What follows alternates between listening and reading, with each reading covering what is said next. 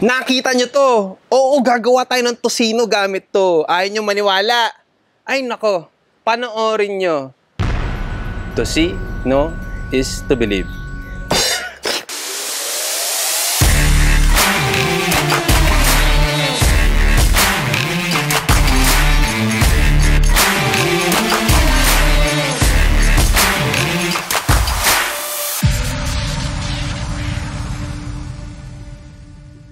Dahil nga you want to know how to make our tocino, eh tuturuan ko kayo gumawa from scratch. At ang maganda dito, walang mga additives, preservatives, yung mga harmful chemicals dahil lahat po ito ay all natural. Tama po ang narinig niyo. All natural. All natural. All natural. Okay, yan po ay pawang katotohanan lamang. At di po ako magsisinungaling dahil nga po ang gagamitin natin ay beet truth. Only the truth. Beet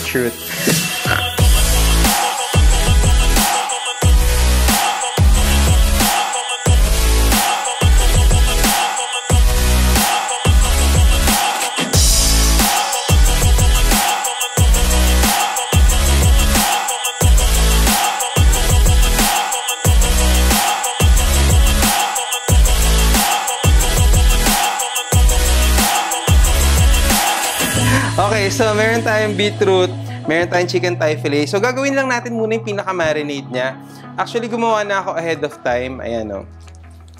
Yan po siya ang end product na. Pero papakita ko pa rin sa inyo paano ko siya minarinade at paano siya umabot sa ganito.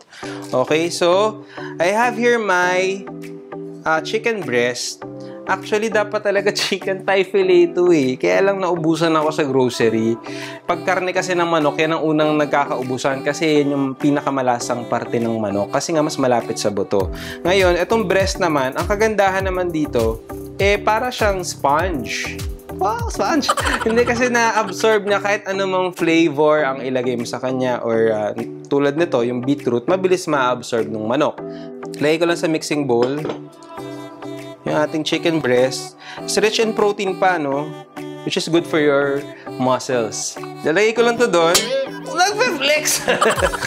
so, next, season muna natin ng So, dahil pink na pink tayo ngayon, hindi lang yung damit ko, pati yung beetroot, lahat, at pink yung tosino natin, yun ang gusto nating ma-achieve na kulay, eh, Himalayan pink salt yung gagamitin natin. Ano bang kaibahan nito sa normal salt? Well, first of all, spelling.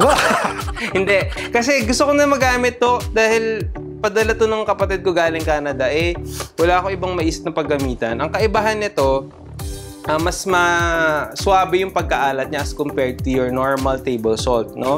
So, gagamit ka lang ng grater, yon. Ito na rin yung mag-act as natural preservative ng ating tocino. Okay? So, this version is chicken tocino, obviously. Okay? Pero pwede nyo rin ito gawin sa pork. Okay, mas okay na na ma-under season kaysa ma-over season yung dish, ha? Tandaan nyo yun. Kasi mas madaling maghabol ng uh, lasa o magdagdag pa kaysa magbawas. Pepper naman. May ganun talaga, no? Pepper. White pepper.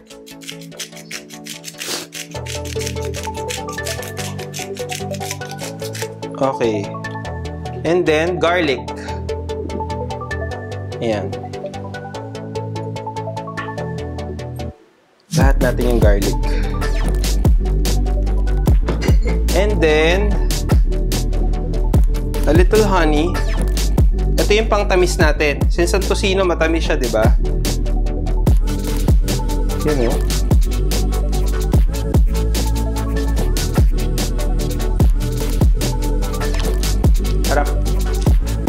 That's raw and wild honey. Mas may lalim yung pagkatamis niya. Almost like caramel, minus the guilty feeling. Ano mo yung ganun? So ngayon, lalagyan na natin siya ng kaunting lemon. Okay.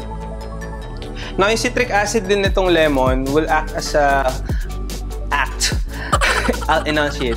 Will act as a natural preservative. Pag naghihiwa ng lemon, tapos yung sakto lang yung kailangan nyo, kunin nyo yung one-third ng lemon, no? Para wala ng buto.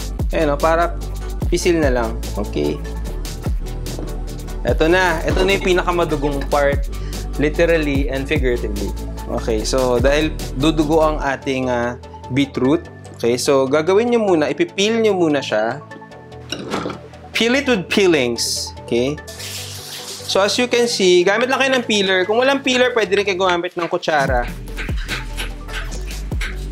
Yan siya. Yung lower part lang ipipeel ko para Okay, ma-save natin yung kalahati. So, ganyan siya. Hawakan nyo dito, oh. Parang sinasabunutan nyo yung beetroot. Parang pag nakakita kayo ng kabet sa mall, di ba? Kunya ka. Sabunutan mong ganun. Ayan. So, i-grate mo lang na ganyan. Isn't it great? Ayan. So, naturally, maghahawa na yung kulay niyan. Okay? Ba't nakapilantik yung isa ko? sa Tagalog, ang tawag sa beetroot ay remolatsa, no? Ayan po siya, oh. Para kayong nag, alam niyo yung, ano pa, nagpa-manicure, pedicure kayo, yung nilalagay na, ano, gamot. Ano ang tawag doon? Mertylate. Mertylate ba tama? Oh. Spell nyo nga. Oh, di ba ngayon? May ginawa na ako ahead of time. Ayan po siya, oh. So, uh, pag gumawa kayo ahead of time, mag-reserve kayo ng kalahati ng liquid para mamaya, yun yung ipang be-baste ninyo. Basting liquid nyo yan habang piniprito nyo. Okay? So, a little more. So, we use our hands. Yan. Di ba na-achieve natin yung kulay ng tusino? Di ba? Oo. Mukha talaga siyang tosino.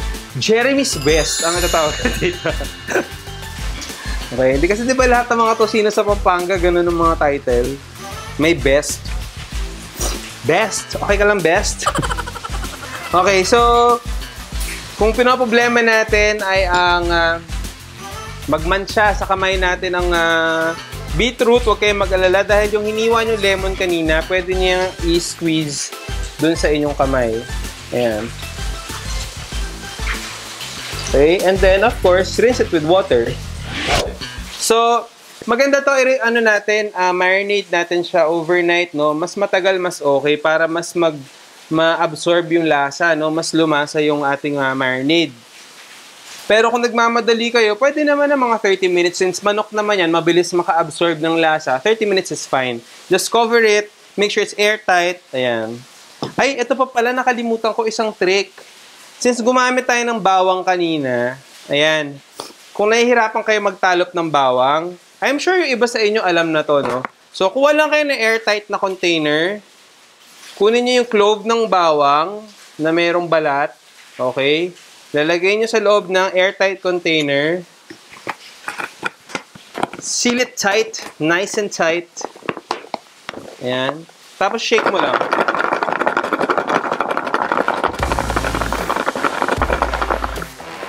na. Konti na lang. Okay. Ah, nangalay ako. okay. Ayan, no? So, natanggal yung uh, balat ng uh, bawang.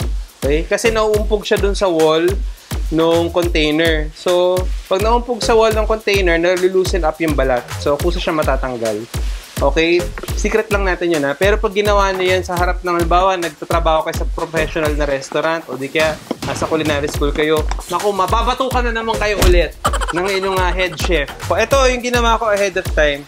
Ba? Tsaka pag mas patagal mo siyang minarinade, mas makakapit yung kulay. Tapos maganda dito, pwede mo nang i-label. Gumawa ka ng sarili mong brand, di ba? Tulad nga na sinabi ko kanina, Jeremy's Best. Di ba? O di kaya, wala nang mais. Painitin ko na yung kalan. Nakakainit ng ulo eh. Ayan. So, kaunting mantika. Vegetable oil. Okay, pwede nyo rin ito i-grill. No? Pwede din. So, gawin natin. Kuha na tayo ng ating manok. Yan. Amoy muna natin, syempre. Hmm, amoy hilaw. amoy hilaw pa. Okay, so papan fry natin to hanggang siya ay maging thoroughly cooked. Yan. So kulay tosino siya talaga, no? Hinaan lang natin. So since meron siyang honey, may tendency na mangitim siya, no? Pero iwasan natin yun. Kailangan low to medium heat lang tayo. Okay, just pag nagpiprito kayo, wag nyong, kung akala nyo nakaka-shortcut kayo ng oras kapag uh, pinagtatabi-tabi nyo lahat yung piniprito nyo at nilalahat nyo in one batch, naku, wag po ganun, no? Magbigay kayo ng space. Para rin yung tao, kailangan niya ng space para mag-function, para mag para mag-function ng maayos. Okay. Yan, check nga natin. Kung ito turn mo, kung ano yung una mo ring nilagay, di ba? Okay. Yan. Yan. Give it a little space. Now, as expected, uh, naisip ko na na since pag pinan-fry mo siya, medyo mag-fade ng konti yung kulay, no? Kaya okay lang na maging ganyan ka-dark eh, kasi mag-fade pa. Dito papasok yung ginawa mo na basting liquid. Ano ba ang basting? Basting ay isang paraan kung saan ibabrush mo nung iyong marinade ang karne. Yeah.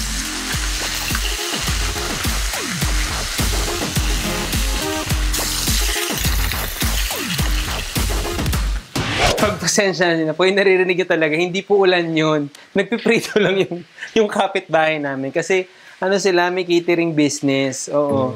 And speaking of business, yung business ng beetroot sa recipe ko talaga, eh, magbigay ng sustansya. Meron niyang fiber, which is good for your digestion. Tapos, mababa nga yung glycemic index, okay sa mga may diabetes.